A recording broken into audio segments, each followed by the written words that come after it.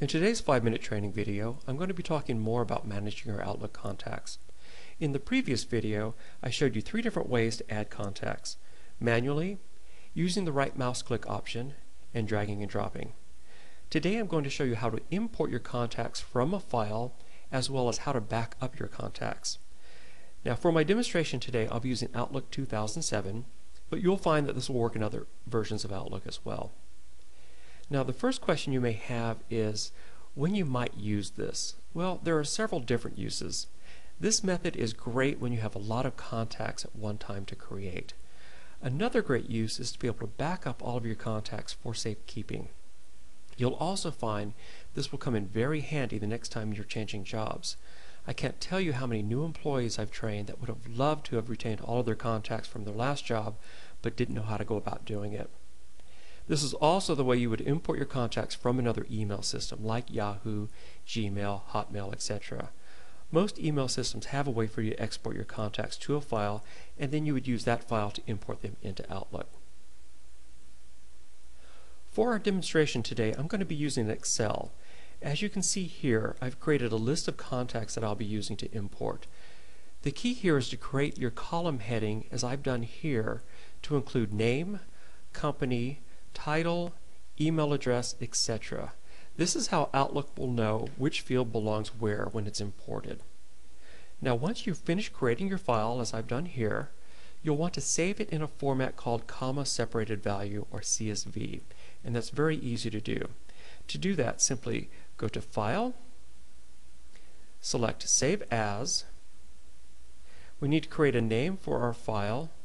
As file type down below here, you want to click the down arrow and navigate to the proper format, which is right here. You'll see it says CSV, comma delimited. Select that, and it changes the name of our file right here to contacts.csv. That's exactly what you want. So click Save. Now a couple of pop-ups will come up. This, this talks about the formatting of this file. We really don't care about that right now, so you can ignore those and click OK. And on this one, just go ahead and click Yes and Continue. So we've saved our file. We now need to close it, switch over to Outlook so we can import this. So go ahead and click File and Close. We've already saved the file, so you can disregard this. Click No. And now switch over to Outlook.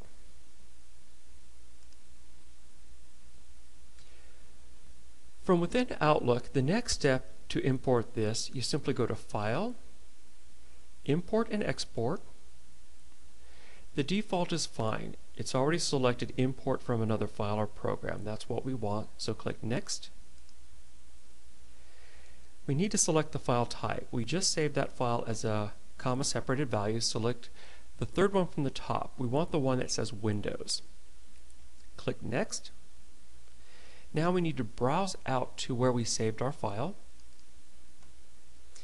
Here's the file we just created called contacts.csv. Click OK. You have several different options when you're working with importing. Uh, I'll go ahead and select the default. Click Next. Now we started our import from the inbox. So we need to scroll up and select the contacts folders where you want to import these files and click Next and we're ready. This is all we need to import our file. So click Finish and all those contacts will be imported. So now if we jump over to our contacts, you'll see all those contacts were just created from our spreadsheet. It's just that easy.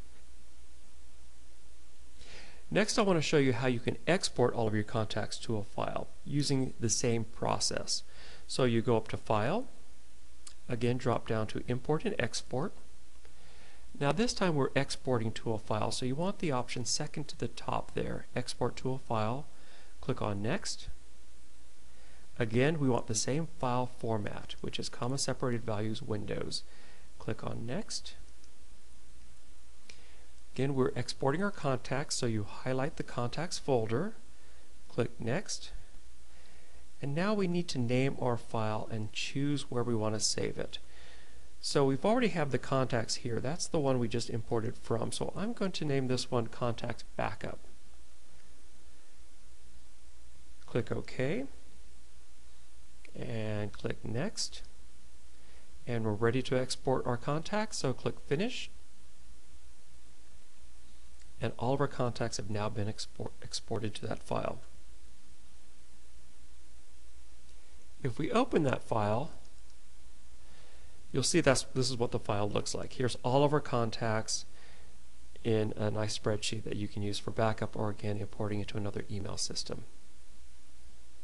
And that concludes today's 5-minute training video. I hope you found this information helpful. I'll be continually adding more training videos to my website, so be sure to check back here often. In my upcoming series, I'm going to be talking about how you can use Outlook as a time management tool. I'll also be giving you more tips and shortcuts for using the Outlook calendar and how you can stay organized using colors and prioritizing your tasks. Thanks for watching.